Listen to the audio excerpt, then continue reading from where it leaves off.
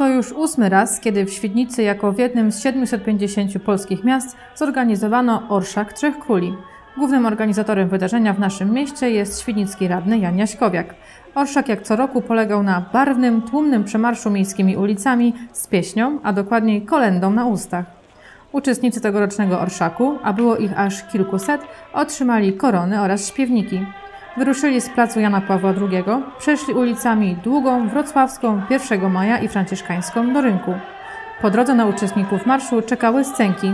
Krótkie inscenizacje przygotowane przez uczniów Szkoły Podstawowej nr 105 w Świdnicy oraz Szkoły Podstawowej w Marcinowicach.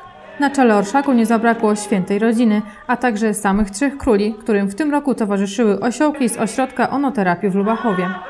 O oprawę muzyczną oraz wizualną zadbali niezawodni absolwenci Akademii Muzycznej imienia Karola Lipińskiego we Wrocławiu oraz tancerze Świdnickiego Zespołu Tanecznego Krąg. Na zakończenie orszaku w Świdnickim Rynku królowie złożyli pokłon małemu dzieciątku, a następnie wspólnie z zabranymi świdniczanami śpiewali piękne polskie kolendy.